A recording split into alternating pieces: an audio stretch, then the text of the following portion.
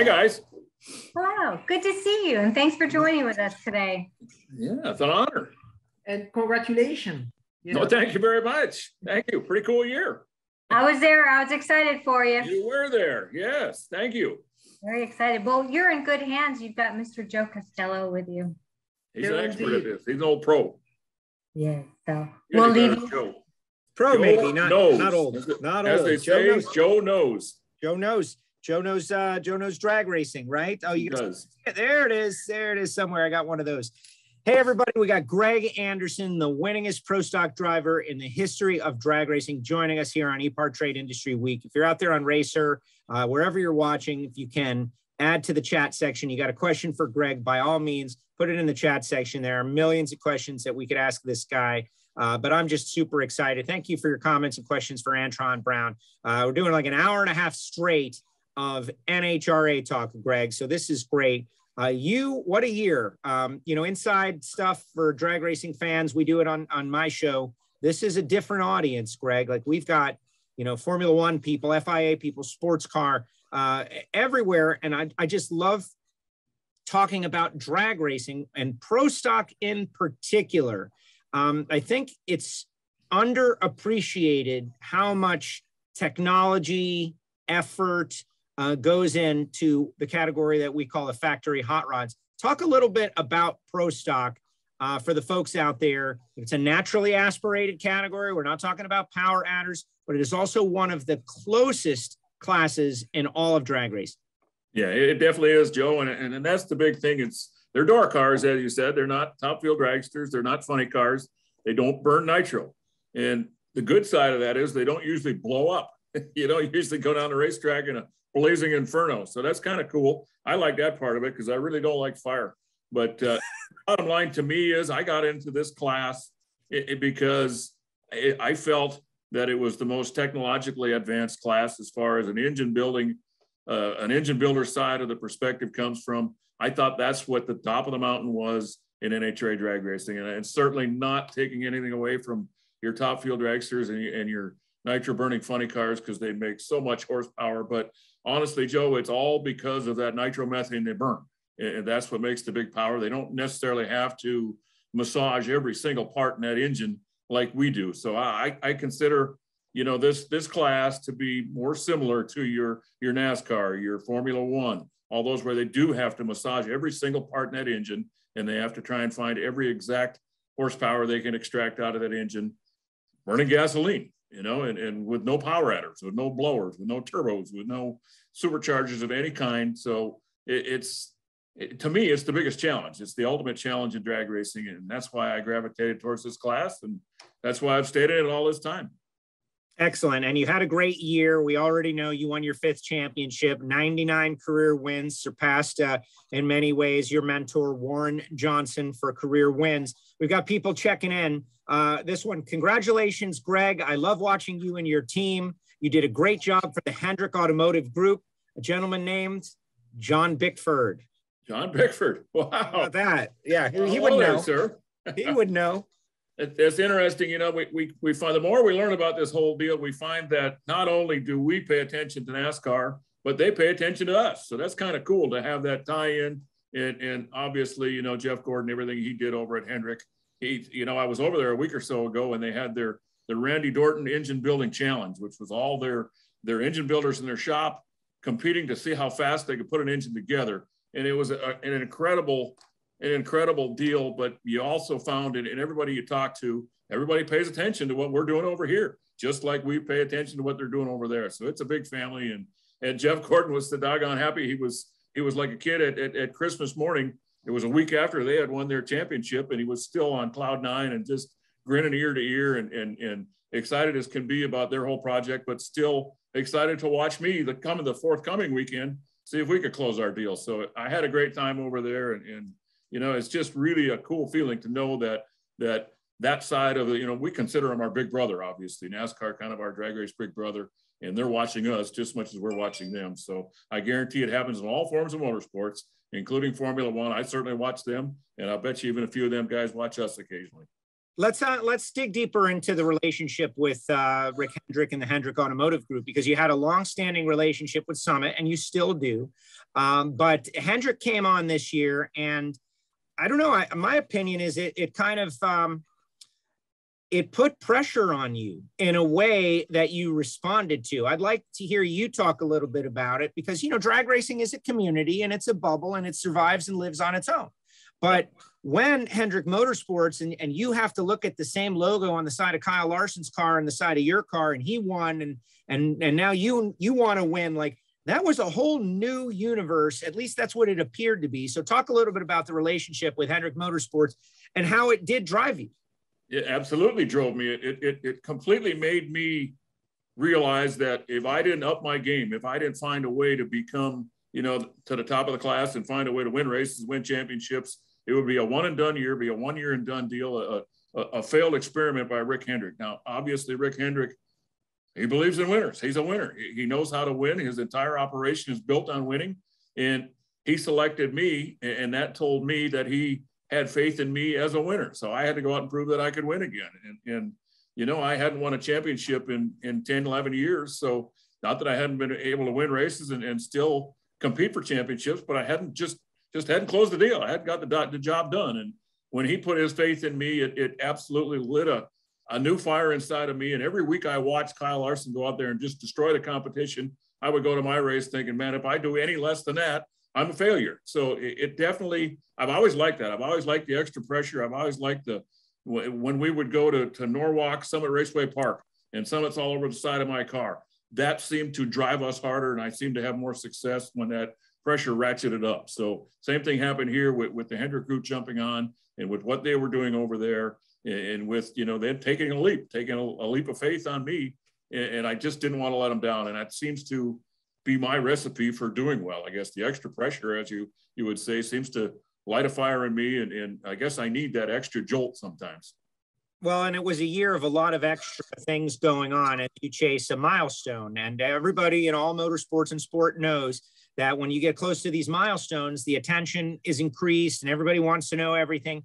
This year, Greg was trying to tie and surpass the 97 career win total of Warren Johnson, the professor, who to many people is the greatest engine builder of all time. You know, Warren is a, a legend. Greg, you you worked for Warren for 12 years. You were there for the first 200 mile per hour run, and and you knew the numbers. You were getting close to this milestone and um, it was it was difficult getting close and breaking through a milestone. Talk a little bit about the 97 wins, the 97th win, the 98th win, and uh, and how that weighed on you over the course of the season. When really the goal is to win the championship, but we were asking you at every single race about this milestone.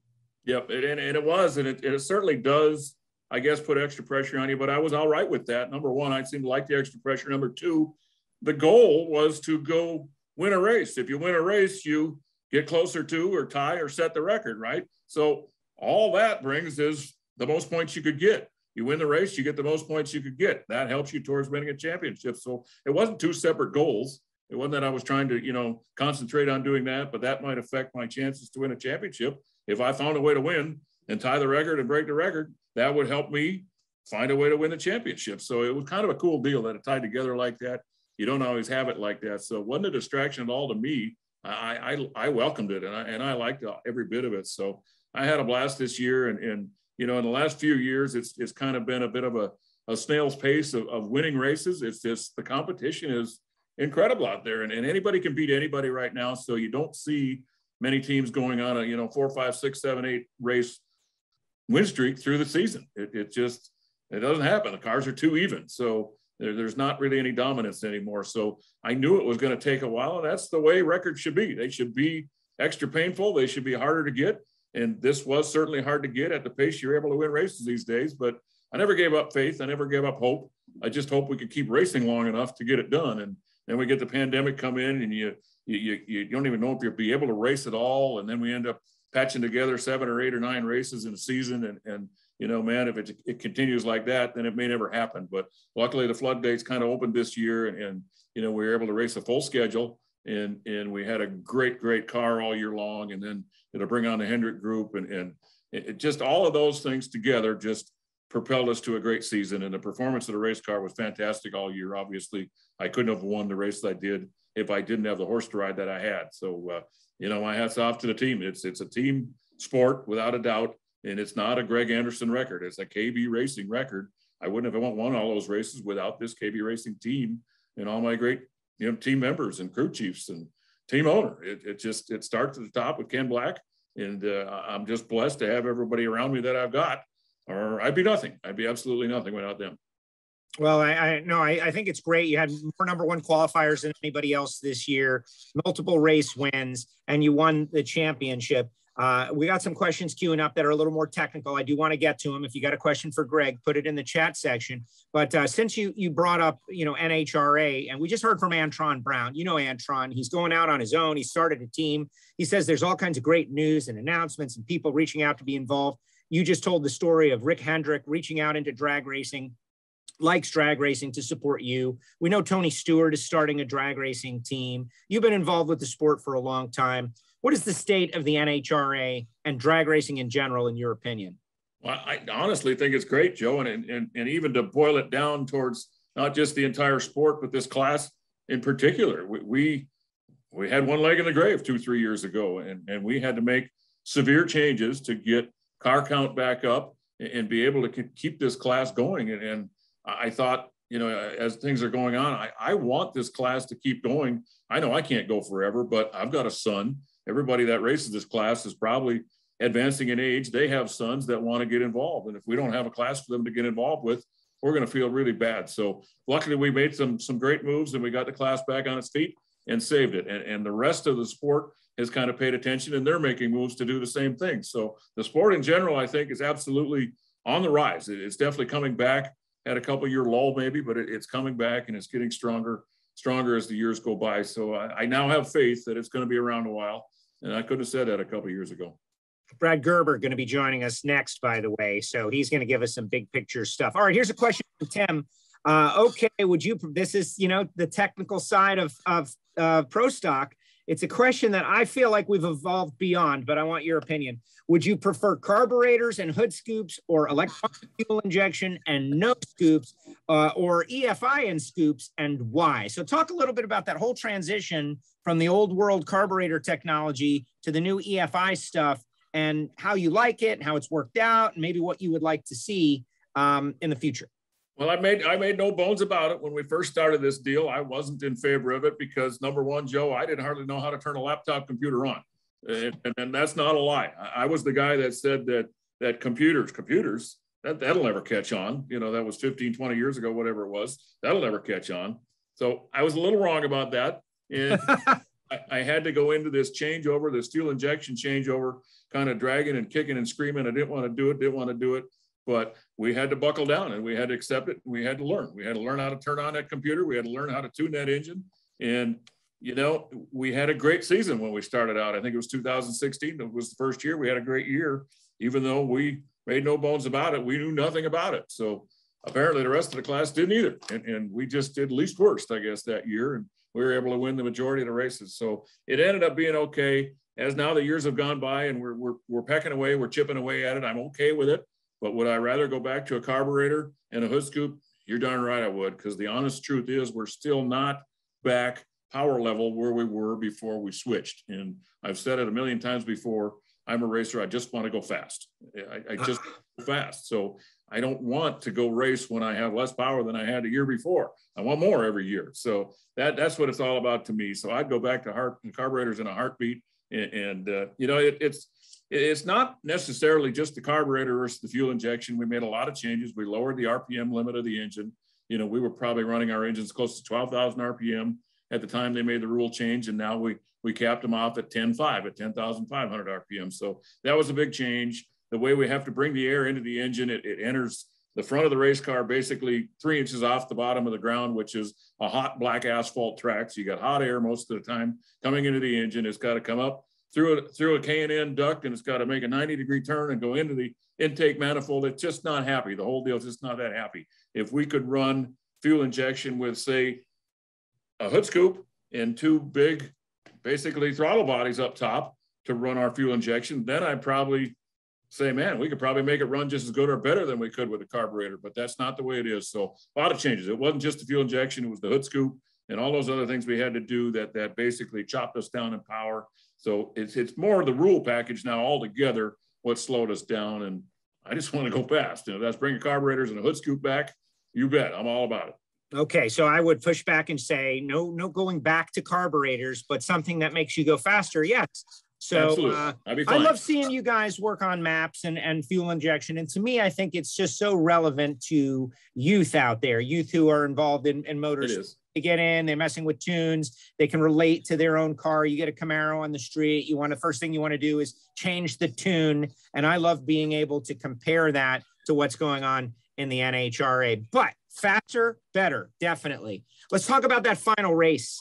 You come into the World Finals, the Auto Club Finals at Auto Club Raceway. It's the final race of the NHRA season, and you're in a two horse race for the most part, not mathematically, with one of the greatest drivers ever. We were just talking diversity in the sport with Antron Brown, Erica Enders, who either she or you was going to win your fifth championship. You know, she's an assassin on the starting line, one of the greatest to hold a steering wheel. And uh, you guys battled. You battled and ultimately had to race each other uh, in the semifinal round. Just talk a little bit about that experience and you know squaring up with Erica. Got her first win against you, and and you guys battled, and and you got a championship against her at the end. Uh, talk a little bit about that that just great person. I think uh, you know Senna and Prost. I think of all these battles, and Enders and Anderson uh, for the drag racing world is legendary. Yep, no, no doubt that that was our dream scenario, and it wasn't a, certainly wasn't an automatic, wasn't a given. We had of the ten cars in the countdown or eleven cars in the countdown, you could have factored in every one of them as a possible champion at the end of the year. So for us two to make it to the final race, basically the only ones alive, that was the big bullet dodged right there. Okay, so now we settle it out amongst ourselves, and then as the ladder finally settled out and shook out, if we were going to find our way through the rounds, we would meet up in the semifinals. So what more could you ask? That was absolutely all you could ask for. Would you want to settle it mono a mono? Absolutely, positively. And I'm sure she'd say the same thing. That's the best way for it to happen. And, and the win came down for me. It, it basically was a result of just like when Kyle Larson had the, the best pit stop on the last stop to win that race, that final race. It was my team that got me set up on the ladder where I got set up, got me lane choice every round on Sunday and that lane choice absolutely came into play when we ran in the semifinal. And she had trouble with the other lane, but that was earned by basically by my race team, that lane choice. So a team effort, complete team effort. And, and you know, we were able to get by her there because she had trouble with the racetrack and, uh, basically a complete team effort. So just how you'd like to have it all shake out. And, and uh, I'm sure not in her opinion, but on our opinion, that's absolutely the perfect scenario, a complete team effort. We all got it done together. And without any one of those things happening, we wouldn't have won it. So pretty cool deal as it all turned out. It's been 10 or 11 years since I felt that feeling. Fantastic feeling. I'm still smiling everywhere I walk, everywhere I go. And, and uh, it's going to be three more months before we race or two and a half more months. And I guarantee that smile is not going to go away for two and a half more months. Yeah, but you're not resting and she's not going anywhere either. And I think that this is going to continue on to the entertainment of uh, everybody out there and hopefully new fans who are not really involved in the sport just yet are starting to turn on to NHRA drag racing and realize that, you know, if you don't like one class, there's definitely something in there that you will like and appreciate. Something else I think that's kind of interesting is you're, you're, mentoring a new generation of drivers. Uh, we spoke the other day and we listed all the people that were in the top 10 the last time you won the championship versus all the people that are in the top 10 now. And you're the only driver still around from the era. Uh, and I don't mean that in a negative way, but you've got a, a whole crop of young, in, in, kind of the mold of every other motorsport. You look at Formula One, you look at NASCAR, it's this new wave of youth drivers. That is true at KB Racing with your team, and it is true in Pro Stock. It, it's not, uh, Joe, it's not only youth, new drivers, rookie drivers, it's rookie drivers that are jumping in equipment that, that is absolutely capable of winning races, winning championships right off the bat. They're jumping in the same exact equipment that I've got, running the same exact engine that I've got, same exact engine that Erica Enders has got. And, and they have all this youth and enthusiasm and, and lack of fear. They don't fear anybody. They don't really care how many races the guy in the other lanes won. They're just out to have fun and, and, and kick ass. So pretty cool deal. And, and we got a great crop of them. It's like they're not, it's, it, they're rookies in this class, but they're not rookies as far as driving race cars. And, and so they've driven different kinds of race cars in the past and they jumped into this deal like every one of them like seamlessly, like like like they've been riding the horse forever all their life. So pretty cool to see uh, the talent that's in the class right now and, and pretty proud to be a part of it. And it's kind of funny that I'm the only one left after 10 years. Erica and I are the only ones left and it's a complete shakeout and still somehow we found a way to make it to the end of the year and, and be the last two horses survive. So pretty cool deal. And as I said, I, I honestly feel like we dodged a bullet. We dodged that youth bullet this year. Can we do it again next year? We're sure going to try, but I'm telling you, the odds are starting to stack against us. There, there's more and more every year, and, and the talent level is just incredible, Joe. Incredible. It, well, it is, and and those of people out there that are interested, you can follow Greg on Twitter. Just search for Greg Anderson, and of course NHRA and KB Racing. A um, couple of rapid fire questions. Uh, Luxembourg checking in, loving the panelists this week. Um, John says, John Bickford says, uh, you mentioned your son, you mentioned Cody, who's an ace golfer, by the way. Is he following in your footsteps? Would you would you call what Cody's doing following in your footsteps, Greg? Not quite yet. He's got a few more years to put in. I put in, uh, let's see, about uh, 20, 25 years of, of, of, working on race cars, driving the truck, driving the tractor trailer up and down the road, and all that before I even thought about driving a race car. So he's got plenty of time. And, and I can tell him every day, don't get nervous. You're, you're young yet. You're 23 years old. You got plenty of time to do this. You need to learn more of the race car yet. So he's, you know, as of three year, about two or three years ago, he couldn't change a spark plug in an engine. So he's come a long way in the last two, three years. His number one passion was golf, probably still is, but he's getting more and more involved and more interested and learning more every day with his drag race deal. And, and, and I want him to learn a little more about the car before he gets a chance to drive. But someday I would love to see him get a chance to drive one. And uh, he's probably going to have to push this old goat out of the seat for it to happen. And I don't know how long that's going to be yet. So I can't put a date on it yet, but hopefully someday it'll happen. hopefully someday I can stand on the starting line and, feel that proud feeling that some of these guys have had that, that have got out of the car before and had their sons drive. They claim there's nothing better. Yeah, I think it's pretty cool driving them, but they claim that's a better deal yet. It's like the grandfather deal. There's nothing better being a grandpa. The dad's cool, but there's nothing better being a grandpa. So it'll be the same type of deal. Oh, I love it. And Cody works on the car now. He does the back half. And, and so he's a, a hands-on kind of guy. All right, here, here's one more. And then I have a question about the technology in Pro Stock. Uh, Jay wants to know if KB is going to be involved with the new factory experimental category that the NHRA has announced. And for those that don't know, it's basically bodies that are restricted to absolute factory dimensions with the new power adder engines that we see in, uh, you know, factory showdown uh, supercharged Copo Camaro, Cobra Jet Mustangs, and Hemis, uh, but with Liberty transmission. So there'll be a clutch and shifting. So everyone is very excited about this category. Greg, what about you? And is KB going to be involved somehow? Well, we're definitely getting warmed up to it, Joe. I, we're not involved yet, and, and, I would certainly never say never. So maybe someday we're not involved yet. We're going to like let, you know stand back a little bit and wait and see how it kind of shakes out. I love a lot of things about it. I love what you just said that the five-speed transmissions versus an automatic, that, that's right up my alley. I, I, don't really, I'm not a big automatic type guy. So I love that part of it. The rest of it's going to be cool too. I just want to see kind of how it all lands and how it all shakes out. And, and probably someday we will, will get involved. We're not jumping in just yet. We've got a lot of other projects going on here, eh, you know, with, with all the customers we have in the pro stock class. And, and, and we do a lot of customer work for a lot of other things here at the shop too. So it's, the plate's kind of full right now but I'm never going to say never. It's certainly something could happen in the future, but as of today, no.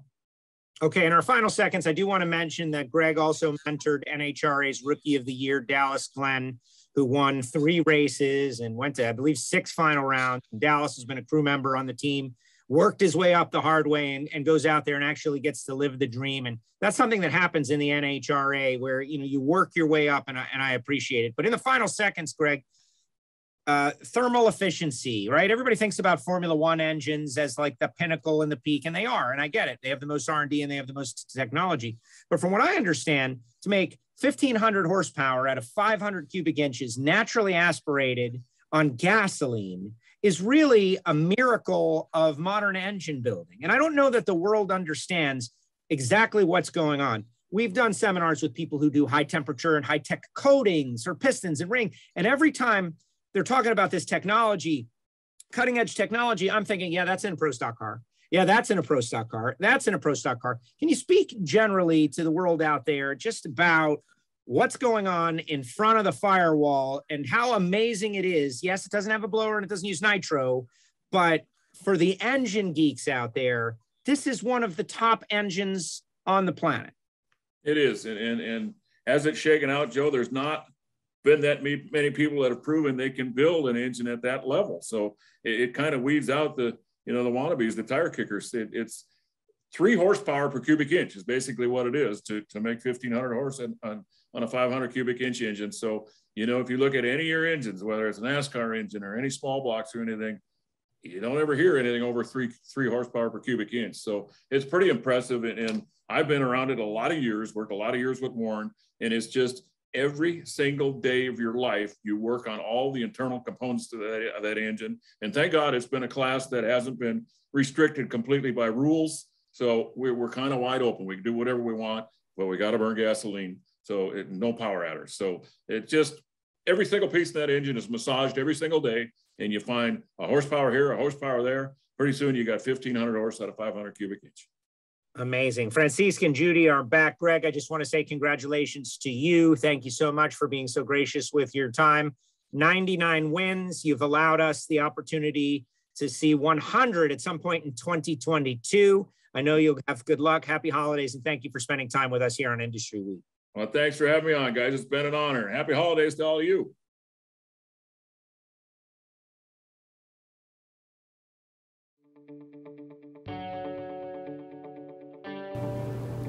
Concept for e-part trade is basically, in my opinion, there's a big hole in the internet. So the internet started many years ago, but there's never been an online business community for racers on the World Wide Web. The need for e-part trade is actually quite obvious. Basically, people in the business of auto racing need a place online to hang out and get their problems solved. It's extremely simple for a buyer or for a supplier to interact on the platform. The first thing you need to do is sign in, which is free. And the second thing is when you see a product that you're interested in, all you need to do is click on request more information. If it's a company, you click on request more information and then from there it is forwarded directly to the buyer or to the supplier.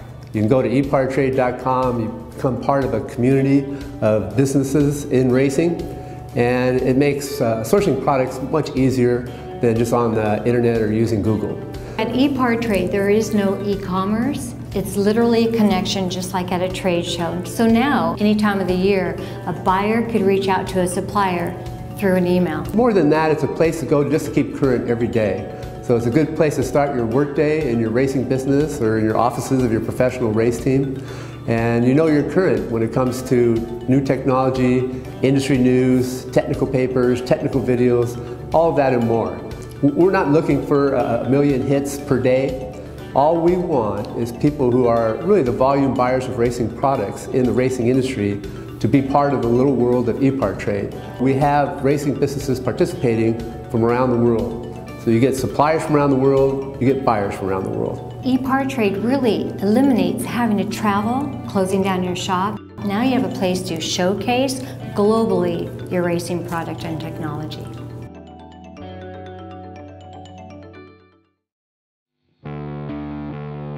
There are two types of people racers and everyone else. Racer Magazine is for those who believe that racing is a way of life Racer embodies the excellence that defines a sport driven by passion, courage, and ingenuity. Get one year of both Racer's print and digital edition for only $39 with instant access to our entire digital issue archive. Subscribe now at info.racer.com.